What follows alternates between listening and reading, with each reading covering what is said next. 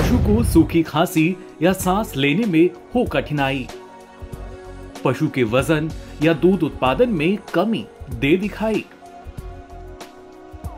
बुखार के साथ साथ बढ़े ना संक्रमण। ट्यूबरक्लोसिस का कैसे करें नियंत्रण? देखिए पशुओं में ट्यूबरक्लोसिस, लक्षण और बचाव। अपना पशु चिकित्सक में इस रविवार शाम साढ़े छह बजे। डीडी किसान पर।